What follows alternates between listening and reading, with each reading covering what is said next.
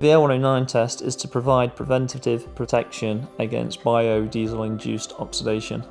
Some of the components of biodiesel can accelerate oxidation in the engine oil. So what can happen is as the biodiesel leaks in, the oxidation rate will increase and then this can lead to the viscosity increasing of the oil. It also forms deposits. Setting the test up, you measure out a set amount of oil and a set amount of biodiesel and mix them thoroughly.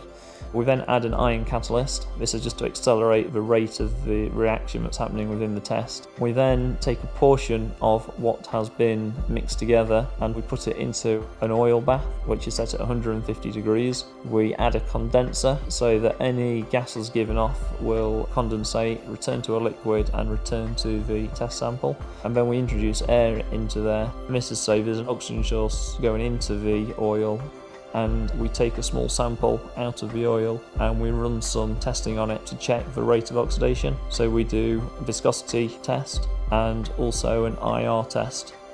And for a good performing oil, we're looking to see as little change as possible. So we're making this condition harsher than what real life would be. So we know if it performs well in the lab, it will then not be in as severe condition in the real world and should still perform well.